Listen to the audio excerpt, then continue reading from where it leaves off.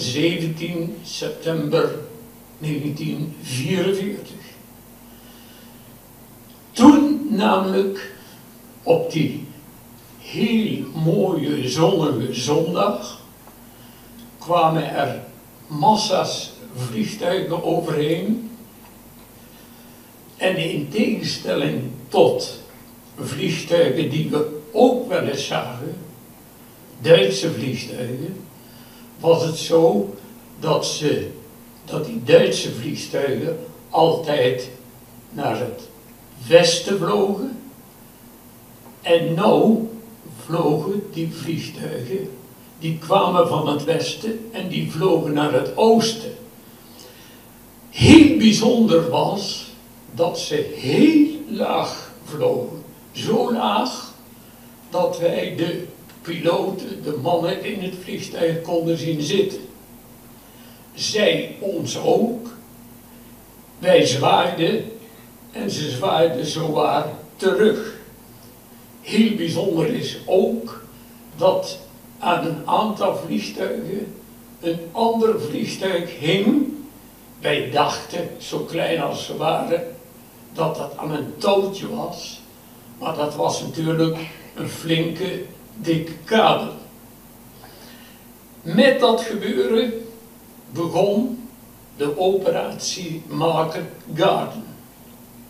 Maar die operatie Market Garden mislukte gedeeltelijk. En dat was heel erg tragisch, want dat had voor Noord-Nederland heel verschrikkelijke gevolgen. Operatie Market Garden, Market, daar bedoelt men mee die vliegtuigen, aanvoer van troepen door de lucht.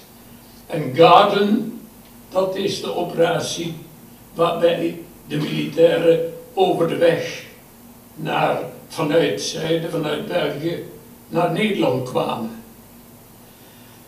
Helaas, zei ik, mislukte dat gedeeltelijk, want de bedoeling was dat die, die uh, troepen, die geallieerde soldaten, Amerikanen, maar vooral Canadezen en Engelsen, dat die, oh en de Polen niet vergeten, dat die de bruggen bij Graven, Nijmegen en Arnhem in bezit zouden nemen. En degene die dat bedacht had, de Engelse uh, legercommandant Montgomery, die wilde daarmee bereiken dat de oorlog voor eind 44 afgelopen was. De bruggen werden in bezit genomen, maar helaas, die van Arnhem, die kon niet behouden blijven en daar moesten de troepen terug. Gevolg, heel Noord-Nederland kreeg nog een ruim zeven maanden een heel slechte tijd. De zogenaamde hommerwinter. Veel van die kennis die wij over die tijd hebben, ook van hier de omgeving, hebben wij te danken aan een scheikenaar die met die materie, met die zaken heel veel bezig is geweest. En dan bedoel ik natuurlijk Wim Boeien. Wim heeft heel veel dingen bestudeerd, heeft heel veel zaken onderzocht. Maar het begon voor Wim eigenlijk al met het begin van de oorlog. Wim schrijft daarover, het is mooi bier, de stilte hangt over rustend Nederland. Mijn ouders worden in de ochtend van 10 mei 1940 vroeg wakker van een kabaal in de lucht. Veel vliegtuigen ronken om ons, onze luchtruim binnen. Voor mij, als elfjarige, begint die 10 mei om 4 uur met de kreet van mijn moeder. Jongens, wakker worden allemaal, het is oorlog.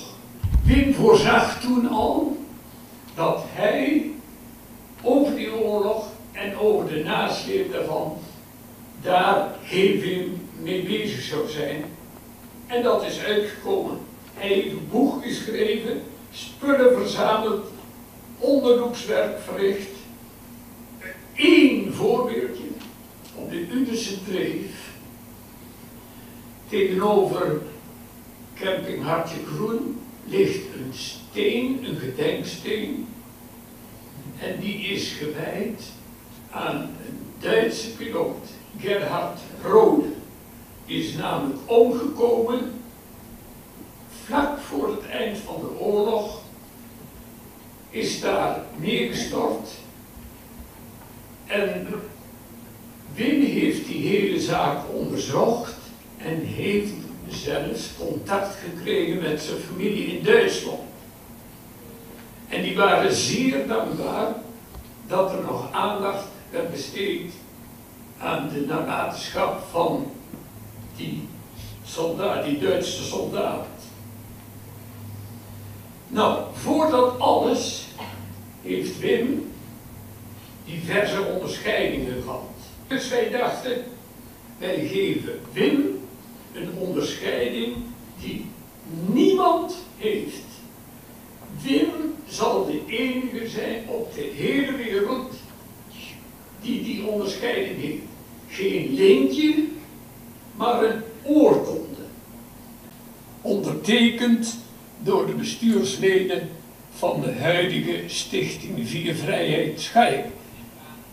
Logisch dat ik nu even vraag om Wim, om hier naar boven te komen, gesteund door zijn zoon Willy, moet dat lukken.